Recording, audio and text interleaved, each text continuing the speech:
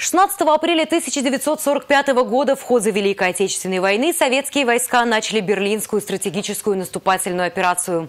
Цель перед солдатами стояла непростая – разгромить основные силы немецких групп армии Висла и Центр, овладеть Берлином, выйти на реку Эльба и соединиться с войсками союзников. Операция продолжалась 23 дня, ширина фронта боевых действий достигала 300 километров. В эти дни по всей стране вспоминают о тех непростых временах, ежегодно открывается вахта памяти.